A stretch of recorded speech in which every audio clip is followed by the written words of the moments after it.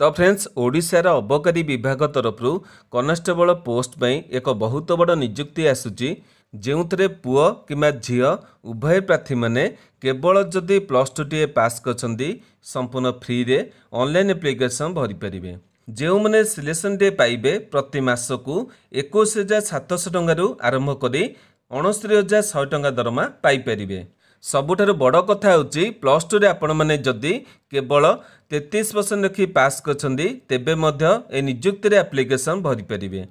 ତେବେ ଅବକାରୀ କନେଷ୍ଟବଳ ପାଇଁ କେତେ ସଂଖ୍ୟାର ଭ୍ୟାକେନ୍ସି ରହିଛି ସେଥିପାଇଁ କେତେ ବୟସ ଆବଶ୍ୟକ ରହିଛି ସିଲେକ୍ସନ୍ ହେବା ପାଇଁ ପୁଅ କିମ୍ବା ଝିଅ ଉଭୟ ପ୍ରାର୍ଥୀମାନଙ୍କର କେତେ ହାଇଟ୍ ବା ଉଚ୍ଚତାର ଆବଶ୍ୟକତା ରହିଛି ସିଲେକ୍ସନ୍ ହେବା ପାଇଁ ଅନ୍ୟ ସବୁ ପ୍ରୋସେସ୍ କ'ଣ ରହିବ ଏକ୍ଜାମ୍ ପ୍ୟାଟର୍ନ କ'ଣ ରହିବ ଏ ସବୁ ବିଷୟରେ ଏ ଟୁ ଜେଡ୍ ଇନଫର୍ମେସନ୍ ଭିଡ଼ିଓରେ ଆପଣମାନଙ୍କୁ ପ୍ରୋଭାଇଡ଼ କରିଦେବି।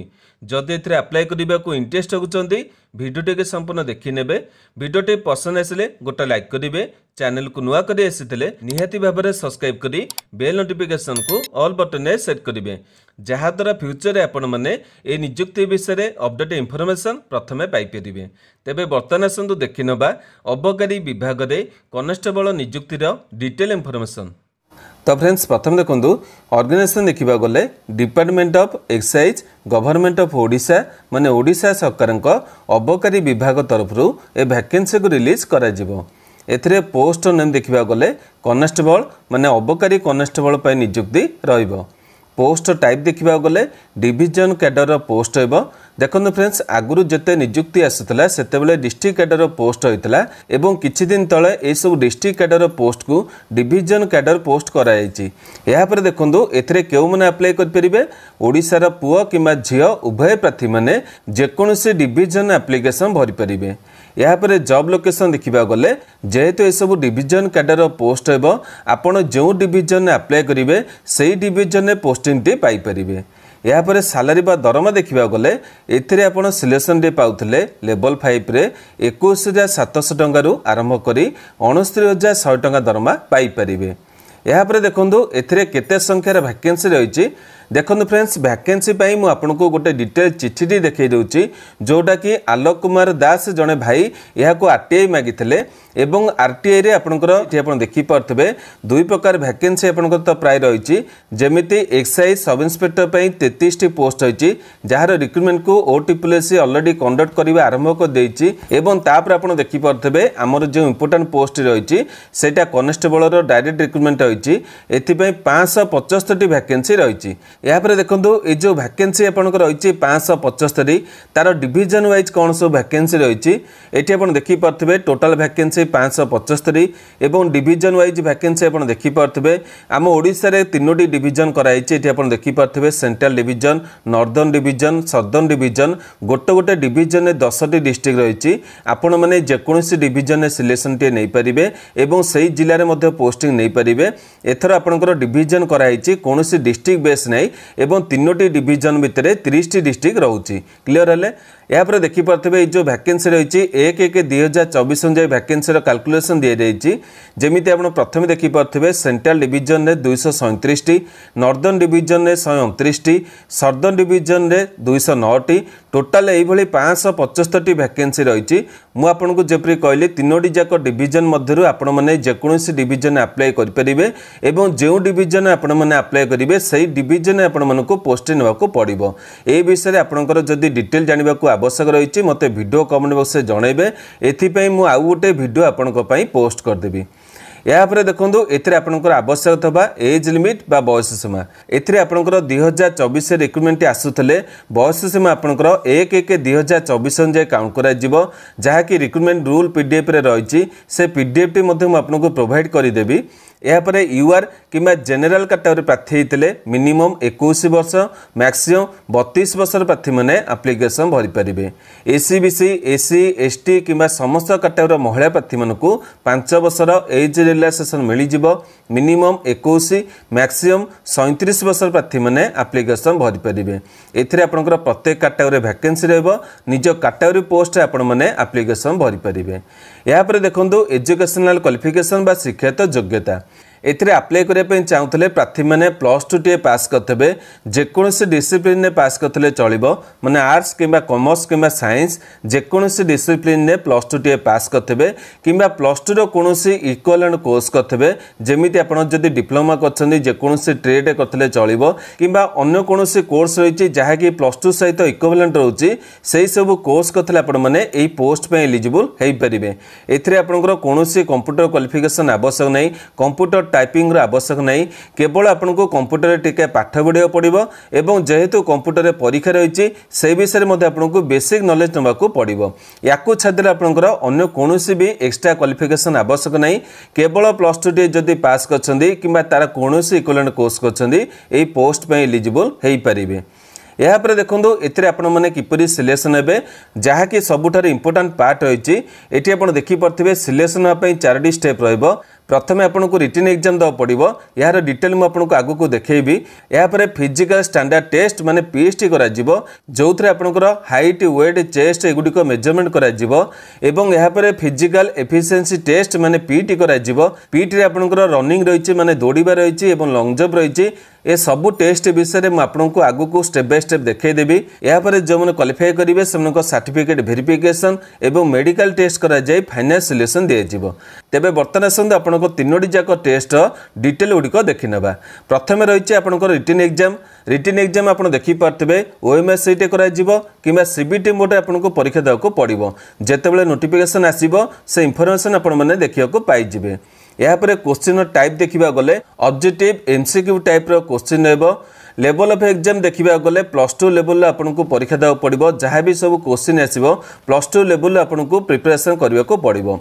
ଏହାପରେ ମିଡ଼ିୟମ୍ ଅଫ୍ କୋଶ୍ଚିନ୍ ଦେଖିବାକୁ ଗଲେ ଇଂଲିଶରେ ଆପଣଙ୍କୁ ପରୀକ୍ଷା ଦେବାକୁ ପଡ଼ିବ ସବୁତକ ସବଜେକ୍ଟ ଆପଣଙ୍କର ରହିଛି ଦେଖିପାରୁଥିବେ ସାତଟି ସବଜେକ୍ଟ ମଧ୍ୟରୁ ଛଅଟି ସବଜେକ୍ଟକୁ ଆପଣଙ୍କୁ ଇଂଲିଶର ମିଡ଼ିୟମ୍ରେ ଟେଷ୍ଟ ଦେବାକୁ ପଡ଼ିବ ଏବଂ କେବଳ ଯେଉଁ ଓଡ଼ିଆ ଲାଙ୍ଗୁଏଜ୍ ରହିଛି ଓଡ଼ିଆ ଲାଙ୍ଗୁଏଜ୍ ଯେଉଁ ଟେଷ୍ଟ କରାଯିବ ତାକୁ ଆପଣମାନେ ଓଡ଼ିଆ ଭାଷାରେ ପରୀକ୍ଷା ଦେଇପାରିବେ ଏଠି ଆପଣ ଦେଖିପାରୁଥିବେ ନେଗେଟିଭ୍ ମାର୍କ ମଧ୍ୟ ରହିବ ଟ୍ୱେଣ୍ଟି ଫାଇଭ୍ ପରସେଣ୍ଟ ଆପଣଙ୍କର କଟିଯିବ ଯଦି ଗୋଟେ ଭୁଲ କରୁଛନ୍ତି ଟ୍ୱେଣ୍ଟି ଫାଇଭ୍ ପରସେଣ୍ଟ ମୁଁ କାହିଁ ଲେଖିଛି କାରଣ ରିକ୍ରୁଟମେଣ୍ଟ ରୁଲ୍ରେ ମଧ୍ୟ ଟ୍ୱେଣ୍ଟି ଫାଇଭ୍ ପରସେଣ୍ଟ ରହିଛି ଏବଂ ଯେତେବେଳେ ନୋଟିଫିକେସନ୍ ଆସିବ ସେତେବେଳେ ଯେଉଁ କୋଶ୍ଚିନ୍ ଥବ ସେଥିରେ ଯେତିକି ମାର୍କ ଥବ ମନେକର ଗୋଟେ କୋଶ୍ଚିନ୍ ବି ଆପଣଙ୍କର ଗୋଟେ ମାର୍କ ରହିଛି ସେଥିରେ ଆପଣଙ୍କର ନେଗେଟିଭ୍ ରହିବ ଜିରୋ ପଏଣ୍ଟ ଟୁ ଫାଇଭ୍ ଏହାପରେ ଦେଖିପାରୁଥିବେ ସବଜେକ୍ଟ ଗୁଡ଼ିକ ଆପଣଙ୍କର ରହିଛି ସାତଟି ସବଜେକ୍ଟ ପରୀକ୍ଷା ଦେବେ ଓଡ଼ିଆ ଲାଙ୍ଗୁଏଜ୍ ଦେବେ ଏଥିରେ ମୁଁ ଆପଣଙ୍କୁ କହିଲି ଆପଣମାନେ ଓଡ଼ିଆ ଭାଷାରେ ପରୀକ୍ଷା ଦେଇପାରିବେ ଏବଂ ଏଇ ଯେଉଁ ଛଅଟି ସବଜେକ୍ଟ ରହିଛି ସେଥିରେ ଆପଣଙ୍କୁ ଇଂଲିଶ ଲାଙ୍ଗୁଏଜ୍ ପରୀକ୍ଷା ଦେବାକୁ ପଡ଼ିବ। ଇଂଲିଶ ଲାଙ୍ଗୁଏଜ୍ ତାପରେ ରହିଛି ତାପରେ ଆଥମେଟିକ୍ ରହିଛି ମାନେ ମ୍ୟାଥମେଟିକ୍ସ ରହିଛି ତାପରେ ଜେନେରାଲ ନଲେଜ ରହିଛି ଏଇଟା ସବୁଠାରୁ ଇମ୍ପୋର୍ଟାଣ୍ଟ ଜିକେ ଜିକେ ପାଇଁ ଆପଣମାନେ ନିହାତି ଭାବରେ ଅଧିକା ପ୍ରିପାରେସନ୍ କରିବେ। ଏହାପରେ ସିଚୁଏସନାଲ ଆୱାରନେସ୍ ରହିଛି ଏଇଟା ମଧ୍ୟ ଆପଣଙ୍କର ବହୁତ ଇମ୍ପୋର୍ଟାଣ୍ଟ ଟପିକ୍ ରହିବ। ତାପରେ ଲଜିକାଲ ରିଜନିଂ ରହିଛି ତାପରେ କମ୍ପ୍ୟୁଟର ନଲେଜ ରହିଛି। କମ୍ପ୍ୟୁଟର କ୍ୱାଲିଫିକେସନ୍ ଆବଶ୍ୟକ ନାହିଁ କିନ୍ତୁ କମ୍ପ୍ୟୁଟରରେ ଆପଣଙ୍କୁ କୋଶ୍ଚିନ୍ ଆସିବ। ଯେମିତି ଆପଣଙ୍କର ୱାର୍ଡ଼ ଏକ୍ସେଲ୍ ପାୱାର ପଏଣ୍ଟ ଏସବୁ ଉପରେ ଆପଣଙ୍କର ବେଶୀ କୋଶ୍ଚିନ୍ ଆସିବ। ଇଣ୍ଟରନେଟ୍ ଆପଣମାନେ କେମିତି ୟୁଜ୍ କରି ଜାଣିଛନ୍ତି ତା ବିଷୟରେ ଆପଣମାନେ କ'ଣ ଜାଣିଛନ୍ତି ସେଗୁଡ଼ିକ ମଧ୍ୟ ଆପଣଙ୍କୁ ଦେବାକୁ ପଡ଼ିବ। ଆଜିକାଲି ଆପଣଙ୍କର ସମସ୍ତ ପରୀକ୍ଷାରେ କମ୍ପ୍ୟୁଟର ନଲେଜ ନିହାତି ଆବଶ୍ୟକ ରହିଛି। ପିଲାମାନେ ମୋତେ କମେଣ୍ଟ ବକ୍ସରେ ପଚାରୁଛନ୍ତି কম্পুটর কোর্স কু নেই মু কোণ সবু জব করিপারিবি তেবে কম্পুটর কোর্স আপনার নিহতি ভাবে করা পড়ব আপন মানে করে নিউ অপরচুনিটির অভাব আপনার দেখা মিলব না যেকোন জব বি আসু আপন মানে সেসব জব্রে আপ্লাই করিপারিবে কেবল প্লস টু কিংবা প্লস থ্রি কিংবা দশম টিএ করলে চলব না ତା ସହିତ ଆପଣମାନଙ୍କୁ କମ୍ପ୍ୟୁଟର ଉପରେ ଶିକ୍ଷା ଥିବା ମଧ୍ୟ ନିହାତି ଆବଶ୍ୟକ ରହିଛି। ଏହାପରେ ଦେଖନ୍ତୁ ଆପଣଙ୍କର ଯେଉଁ ଫିଜିକାଲ ଷ୍ଟାଣ୍ଡାର୍ଡ ମେଜରମେଣ୍ଟ କରାଯିବ ଏଥିରେ ଆପଣଙ୍କର ହାଇଟ୍ ୱେଟ୍ ଚେଷ୍ଟ ମେଜରମେଣ୍ଟ କରାଯିବ ଦେଖିପାରୁଥିବେ। ପ୍ରଥମେ ଦେଖନ୍ତୁ ଅନରିଜର୍ଭ ମାନେ ଆପଣଙ୍କର ଜେନେରାଲ କାଟାଗୋରୀର କିମ୍ବା ଏସ୍ସି ବିସି କାଟାଗୋରୀର ପୁରୁଷ ପ୍ରାର୍ଥୀ ହେଇଥିଲେ। ଶହେ ଅଡ଼ଷଠି ସେଣ୍ଟିମିଟର ହାଇଟ୍ ଆବଶ୍ୟକ ପଞ୍ଚାବନ କେଜି ୱେଟ୍ ଆବଶ୍ୟକ ଚେଷ୍ଟ ବିନା ଏକ୍ସପ୍ୟାଣ୍ଡରେ ଅଣାଅଶୀ ସେଣ୍ଟିମିଟର ଏକ୍ସପ୍ୟାଣ୍ଡ କଲେ ଚଉରାଅଶୀ ସେଣ୍ଟିମିଟର ହେଉଥିବା ଆବଶ୍ୟକ। ଏହାପରେ ଦେଖନ୍ତୁ ଏସ୍ସି କିମ୍ବା ଏସ୍ଟି କାଟାଗୋରୀର ପୁରୁଷ ପ୍ରାର୍ଥୀମାନଙ୍କର ଶହେ ତେଷଠି ସେଣ୍ଟିମିଟର ହାଇଟ୍ ଆବଶ୍ୟକ ପଚାଶ କେଜି ୱେଟ୍ ଆବଶ୍ୟକ ଛଅସ୍ତରୀ ସେଣ୍ଟିମିଟର ବିନା ଏକ୍ସପେନ୍ସନରେ ଏକାଅଶୀ ସେଣ୍ଟିମିଟର ଏକ୍ସପେନ୍ସନ୍ କରୁଥିଲେ ହେଉଥିବା ଆବଶ୍ୟକ। ଅନରିଜର୍ଭ ମାନେ ଜେନେରାଲ ଏବଂ ଏସ୍ସି ବିସି କାଟାଗୋରୀର ମହିଳା ପ୍ରାର୍ଥୀ ହେଇଥିଲେ ଶହେ ଅଠାବନ ସେଣ୍ଟିମିଟର ହାଇଟ୍ ଆବଶ୍ୟକ ୱେଟ୍ ଆପଣଙ୍କର ସତଚାଳିଶ ପଏଣ୍ଟ ଫାଇଭ୍ କେଜି ଆବଶ୍ୟକ ଚେଷ୍ଟ ମେଜରମେଣ୍ଟ ଆପଣଙ୍କର ଆବଶ୍ୟକ ନାହିଁ। ଏହାପରେ ଏସ୍ସି କିମ୍ବା ଏସ୍ ଟି କ୍ୟାଟେଗୋରୀର ମହିଳା ପ୍ରାର୍ଥୀ ହେଇଥିଲେ ଶହେ ତେପନ ସେଣ୍ଟିମିଟର ହାଇଟ୍ ଆବଶ୍ୟକ ପଇଁଚାଳିଶ କେଜି ୱେଟ୍ ଆବଶ୍ୟକ ଚେଷ୍ଟ ମେଜରମେଣ୍ଟ ଆବଶ୍ୟକ ନାହିଁ। ତେବେ ଏଇଭଳି ଆପଣଙ୍କର ଫିଜିକାଲ ମେଜରମେଣ୍ଟ ଆବଶ୍ୟକ ରହିଛି। ଯଦି ଆପଣ ମନେକର ଏଇସବୁ ହାଇଟ୍ ଅଛି ଆପଣମାନେ ପ୍ରିପାରେସନ୍ କରନ୍ତୁ। ନଚେତ ଏଇସବୁ ନିଯୁକ୍ତି ଆପଣଙ୍କର କିଛି କାମରେ ଆସିବ ନାହିଁ। ହାଇଟ୍ ଯଦି ଆପଣଙ୍କର ନାହିଁ ଆପଣମାନେ ଏସବୁ ନିଯୁକ୍ତିରେ ସିଲେକ୍ସନ୍ ହୋଇପାରିବେ ନାହିଁ। ପରୀକ୍ଷା ଦେଇକି ଆପଣଙ୍କର କିଛି ଲାଭ ନାହିଁ। ଯଦି ଆପଣଙ୍କର ହାଇଟ୍ ୱେଟ୍ ଚେଷ୍ଟ ଆପଣଙ୍କର ଅଛି ସେଥିପାଇଁ ପ୍ରିପାରେସନ୍ ଆରମ୍ଭ କରିଦିଅନ୍ତୁ। ଏହାପରେ ଦେଖନ୍ତୁ ଫିଜିକାଲ ଏଫିସିଏନ୍ସି ଟେଷ୍ଟ ମାନେ ପିଟି ଏଥିରେ ଆପଣଙ୍କର ଶାରୀରିକ ଦକ୍ଷତା ପରୀକ୍ଷା କରାଯିବ। କେବଳ ଦୁଇଟି ଟେଷ୍ଟ କରାଯିବ ଦେଖିପାରୁଥିବେ ପୁରୁଷ ହୁଅନ୍ତୁ କିମ୍ବା ମହିଳା ହୁଅନ୍ତୁ ଦୁଇଟି ଟେଷ୍ଟ ରହିଛି। ତେବେ ପ୍ରଥମେ ପୁରୁଷମାନଙ୍କର ଦେଖିନେବା। ଏଥିରେ ସମସ୍ତ କାଟାଗୋରୀ ପୁରୁଷ ପ୍ରାର୍ଥୀମାନଙ୍କୁ ଗୋଟିଏ ଟେଷ୍ଟ ଦେବାକୁ ପଡ଼ିବ। ଯେମିତି ଆପଣ ଦେଖିପାରୁଥିବେ ପ୍ରଥମେ ରହିଛି ରନିଂ ଏଥିରେ ୱାନ୍ ପଏଣ୍ଟ ସିକ୍ସ କିଲୋମିଟର ଦୌଡ଼ିବାକୁ ପଡ଼ିବ ମାନେ ଷୋଳଶହ ମିଟର ଦୌଡ଼ିବାକୁ ପଡ଼ିବ ସାତ ମିନିଟ ସମୟ ମିଳିବ ଯାହାକି ଓଡ଼ିଶା ପୋଲିସ କନେଷ୍ଟବଳ ହେଉ କିମ୍ବା ଓଏସ୍ଏପି ଆର୍ବି ହେଉ ଏ ସମସ୍ତଙ୍କଠାରୁ ଆପଣଙ୍କର ସମୟ ଅଧିକା ରହୁଛି। ଏହାପରେ ଲଙ୍ଗ ଜମ୍ପ ଦେଖିପାରୁଥିବେ three point six six metre ମାନେ ଆପ୍ରୋଚ୍ ବାର ଫୁଟ ଆପଣଙ୍କୁ ଡେଇଁବାକୁ ପଡ଼ିବ। ଏଥିରେ ମ୍ୟାକ୍ସିମମ୍ ଆପଣମାନେ ତିନୋଟି ଆଟେମ୍ପ୍ଟରେ କ୍ଲିୟର କରିବାକୁ ପଡ଼ିବ। କିନ୍ତୁ ମୋର ଆପଣଙ୍କୁ ପରାମର୍ଶ ରହିଛି ଆପଣମାନେ ଗୋଟାଏ ଆଟେମ୍ପ୍ଟରେ କ୍ଲିୟର କରନ୍ତୁ ନଚେତ ଆପଣଙ୍କର ଯେଉଁ ଗ୍ରେସ୍ ମାର୍କ କମିଯିବ ଏବଂ ସିଲେକ୍ସନ୍ ହେବା ପାଇଁ ମଧ୍ୟ ଆପଣଙ୍କୁ ଅସୁବିଧା ହେଇଯିବ। ସବୁବେଳେ ଚେଷ୍ଟା କରିବେ ଗୋଟିଏ ଆଟେମ୍ପ୍ଟରେ ଆପଣଙ୍କୁ କ୍ଲିୟର କରିବାକୁ ପଡ଼ିବ। ଏହାପରେ ଦେଖନ୍ତୁ ମହିଳାମାନଙ୍କର ସମସ୍ତ କାଟାଗୋରୀ ଦେଖିବାକୁ ଗଲେ ଏଥିରେ ମଧ୍ୟ ଆପଣଙ୍କୁ ରନିଂ କରିବାକୁ ପଡ଼ିବ ମାନେ ଦୌଡ଼ିବାକୁ ପଡ଼ିବ ୱାନ୍ ପଏଣ୍ଟ ସିକ୍ସ କିଲୋମିଟର ମାନେ ଷୋଳଶହ ମିଟର ଏଥିରେ ନଅ ମିନିଟ୍ ଆପଣଙ୍କୁ ସମୟ ମିଳିବ ତାପରେ ଲଙ୍ଗ ଜମ୍ପ ରହିଛି two point seven five metre ମାନେ ଆପ୍ରୋକ୍ସିମେଟଲି ନଅ ଫୁଟ ଆପଣଙ୍କୁ ଜମ୍ପ କରିବାକୁ ପଡ଼ିବ ଏଥିରେ ମଧ୍ୟ ଆପଣଙ୍କର ତିନୋଟି ଚାନ୍ସ ରହିଛି ମାନେ ମୁଁ ଆପଣଙ୍କୁ କହିବି ଗୋଟାଏ ଚାନ୍ସରେ ଆପଣମାନେ କ୍ଲିୟର କରିବା ପାଇଁ ଚେଷ୍ଟା କରିବେ ତ ଫ୍ରେଣ୍ଡସ୍ ଏଇଭଳି ଆପଣଙ୍କର ସବୁ ଟେଷ୍ଟ ରହିଲା। ବର୍ତ୍ତମାନ ଆସନ୍ତୁ ଏଥିରେ ଆପଣମାନେ କେମିତି ଆପ୍ଲାଏ କରିବେ ଦେଖିନେବା। ଏଥିରେ ଆପ୍ଲାଏ କରିବାକୁ ହେଲେ ଆପଣମାନଙ୍କୁ ଅନଲାଇନ୍ ପ୍ରୋସେସ୍ ଆପ୍ଲାଏ କରିବାକୁ ପଡ଼ିବ। ଅଫିସିଆଲ ୱେବସାଇଟ୍ଟି ମୁଁ ଆପଣଙ୍କୁ ଓ ଟି ପୁଲିସରେ ଦେଖାଇଛି। କିନ୍ତୁ କୌଣସି ଇନଫର୍ମେସନ୍ ଆସିନାହିଁ କି କିଏ ରିକ୍ରୁଟମେଣ୍ଟ କରିବ। କାହିଁକି ନା ଓ ଟି ପୁଲିସରେ ଆପଣମାନେ ଦେଖିଥିବେ ଯେଉଁ ଗତ ରିକ୍ରୁଟମେଣ୍ଟଟି ଆସିଥିଲା ସେଥିରେ ଆପଣଙ୍କର ଫରେଷ୍ଟ ଗାର୍ଡ଼ ଅମିନ ପୋଷ୍ଟ ସହିତ ମିଶିକି ଆସିଥିଲା। କିନ୍ତୁ ଏବେ ଆପଣଙ୍କର ଫରେଷ୍ଟ ଗାର୍ଡ଼ ରିକ୍ରୁଟମେଣ୍ଟ ଆସିସାରିଛି। ଆର୍ଆଇ ଅମିନ ରିକ୍ରୁଟମେଣ୍ଟ ମଧ୍ୟ ଆସିସାରିଛି। ସେଥିରେ ଆପଣଙ୍କୁ ଏକ୍ସାଇଜ୍ କନେଷ୍ଟବଳ ରିକ୍ରୁଟମେଣ୍ଟ ଆସିନାହିଁ। ହୁଏତ ଆପଣଙ୍କର ଗୋଟେ ଅଲଗା ରିକ୍ରୁଟମେଣ୍ଟ କରିପାରେ କିମ୍ବା ଅନ୍ୟ କୌଣସି ଏଜେନ୍ସି ରିକ୍ରୁଟମେଣ୍ଟକୁ କଣ୍ଡକ୍ଟ କରିପାରେ। ଯେହେତୁ ଓଟି ପୋଲିସ ଏହାକୁ କଣ୍ଡକ୍ଟ କରୁଛି ଆଗରୁ ମୁଁ ସେଥିପାଇଁ ଓଟି ପୋଲିସ ଦେଇଛି। ଯେତେବେଳେ ନୋଟିଫିକେସନ୍ ଆସିବ କିମ୍ବା କୌଣସି ଇନଫର୍ମେସନ୍ ଆସିବ ମୁଁ ପ୍ରଥମେ ଆପଣଙ୍କୁ ଅପଡେଟ୍ କରିଦେବି। ଏହାପରେ ଦେଖନ୍ତୁ ଆପ୍ଲିକେସନ୍ ଷ୍ଟାର୍ଟ ଡେଟ୍ ଦେଖିବାକୁ ଗଲେ ଏଥିପାଇଁ ଆପଣଙ୍କର ନୋଟିଫିକେସନ୍ ଆସିନାହିଁ କିମ୍ବା ଆପ୍ଲିକେସନ୍ ଆରମ୍ଭ ହୋଇନାହିଁ। ଏହାପରେ ଦେଖନ୍ତୁ ଆପ୍ଲାଏ କରିବାର ଲାଷ୍ଟ ଡେଟ୍ଟି ଦେଖିବାକୁ ଗଲେ ଯେତେବେଳେ ନୋଟିଫିକେସନ୍ଟି ଆସିଯିବ ଗୋଟେ ମାସ ଆପଣମାନଙ୍କୁ ଏଥିରେ ସମୟ ମିଳିବ ଆପ୍ଲିକେସନ୍ ଭରିବାକୁ। ଏହାପରେ ଦେଖନ୍ତୁ ଆପ୍ଲିକେସନ୍ ଫି ଦେଖିବାକୁ ଗଲେ ବର୍ତ୍ତମାନ ସମୟରେ ଆପଣଙ୍କର ଓଟି ପୋଲିସରେ କୌଣସି ବି ନିଯୁକ୍ତି ପାଇଁ କୌଣସି ବି ଆପ୍ଲିକେସନ୍ ଫି ଦେବାକୁ ପଡ଼ୁନାହିଁ। ସମସ୍ତ କାଟାଗୋରୀ ପ୍ରାର୍ଥୀମାନେ ସମ୍ପୂର୍ଣ୍ଣ ଭାବେ ଫ୍ରିରେ ଆପ୍ଲିକେସନ୍ ଭରିପାରିବେ। ତ ଫ୍ରେଣ୍ଡସ୍ ଏତେ ସବୁ ଡିଟେଲ୍ ଗୁଡ଼ିକ ମୁଁ ଆପଣଙ୍କୁ ଯାହା ବି କିଛି ପ୍ରୋଭାଇଡ଼ କଲି ଏସବୁ ଡିଟେଲ୍ ମୁଁ କେଉଁଠାରୁ କଲେକ୍ଟ କରିଛି ତା ଡିଟେଲ୍ ମଧ୍ୟ ଆପଣଙ୍କୁ ଦେଖାଇଦେବି। କାହିଁକି ନା ଏସବୁ ଡିଟେଲ୍ ମଧ୍ୟ ଆପଣଙ୍କର ଜାଣିବାର ଆବଶ୍ୟକତା ରହିଛି। ମୁଁ ଆପଣଙ୍କୁ ଯେପରି କହିଲି ଏହାର ରିକ୍ରୁଟମେଣ୍ଟ ରୁଲ୍ର ଯେଉଁ ପି ରହିଛି ସେଇଥିରୁ ମୁଁ ଆପଣଙ୍କୁ ସବୁ ଡିଟେଲ୍ ଗୁଡ଼ିକ ପ୍ରୋଭାଇଡ଼ କରିଛି। ବର୍ତ୍ତମାନ ଆସନ୍ତୁ ସେ ନୋଟିଫିକେସନ୍କୁ ଆପଣମାନେ କେଉଁଠୁ ଡାଉନଲୋଡ଼ କରିବେ ତାକୁ କିପରି ଚେକ୍ କରିବେ ତାର ଇନଫର୍ମେସନ୍ ମଧ୍ୟ ଆପଣମାନେ ଦେଖିନିଅନ୍ତୁ তো ফ্রেন্ডস এক্সাইজ কনস্টেবল সব ডিটেল গুড়ি দেখা চাহুলে এবং আপনার যেপরি কহিলেন রিক্রুটমেন্ট রুল পিডিএফ কু ডাউনলোড করা চাহুলে প্রথমে নিজের মোবাইলে গুগল ওয়েবসাইট ওপন করবে এবং ওপন কলাপরে আপনার দেখিপারে এইভাবে গোটে সর্চ বক্স রয়েছে সেইটি আপনার আমার ওয়েবসাইট কু সর্চ করবে কোণ সর্চ করবে মু বর্তমানে আপনার দেখাই দেছি এটি আপনার টাইপ করবে ODI job info dot in D I job info dot in এইভাবে আপনার টাইপ করবে এবং তলে যে সর্চ বক্স রয়েছে সেইটি আপনার ক্লিক করবে ক্লিক কলাপরে আপনার দেখিপারে প্রথমে আমার ওয়েবসাইট পেজটি আসি যাই এবং এইটি আপনার ক্লিক করা পড়ব তেবে ক্লিক করবে ଏହାପରେ ଆପଣ ଦେଖିପାରୁଥିବେ ୱେବସାଇଟ୍ ପେଜ୍ଟି ଓପନ୍ ହୋଇଛି ଏବଂ ଏଠି ଆପଣମାନେ ତଳକୁ ସ୍କ୍ରୋଲ୍ କରି ଆସିଯିବେ ଦେଖିପାରୁଥିବେ ପ୍ରଥମ ଜବ୍ଟି ରହିଛି ଆପଣଙ୍କର ଓଡ଼ିଶା ଏକ୍ସାଇଜ୍ କନେଷ୍ଟବଳ ରିକ୍ରୁଟମେଣ୍ଟ ଦୁଇହଜାର ଚବିଶ check eligibility selection process exam ଏବଂ ସିଲାବସ୍ ଏ ବିଷୟରେ ଆପଣମାନେ ଡିଟେଲ୍ ଜାଣିବା ପାଇଁ ଚାହୁଁଥିଲେ ଏଇଠି କ୍ଲିକ୍ କରିବେ। କିନ୍ତୁ ଆପଣ ଯଦି କିଛି ଦିନ ପରେ ଆସୁଛନ୍ତି ହୁଏତ ଆପଣଙ୍କର ଏଇ ଡିଟେଲ୍ଟି ତଳୁ ପଳେଇଥିବ। କାହିଁକିନା ପ୍ରତିଦିନ ମୁଁ ପ୍ରତ୍ୟେକ ଜବ୍ର ଡିଟେଲ୍ ଗୁଡ଼ିକ ସେୟାର୍ କରୁଛି। ସେଥିପାଇଁ ଏହି ଜବ୍ର ଡିଟେଲ୍ଟି ତଳୁ ପଳେଇଥିବ। ଏଥିପାଇଁ ମୁଁ ଆପଣଙ୍କୁ ସବୁବେଳେ ସର୍ଟକଟ୍ ମଧ୍ୟ କହିଥାଏ। କ'ଣ କରିବେ ଆପଣମାନେ ଆଉ ଟିକିଏ ଉପରକୁ ସ୍କୋଲ୍ କରି ଆସିଯିବେ। ଏଠି ଆପଣ ଦେଖିପାରୁଥିବେ ବିଭିନ୍ନ କାଟାଗୋରୀ ରହିଛି। ଯେଉଁଠି ଆପଣଙ୍କ ରାଇଟ୍ ସାଇଡ଼୍ରେ ଦେଖିପାରୁଥିବେ ଡିଫେନ୍ସ ଜବ୍ର କାଟାଗୋରୀ ରହିଛି। ସେଇଠି ଆପଣମାନେ କ୍ଲିକ୍ କରିବେ।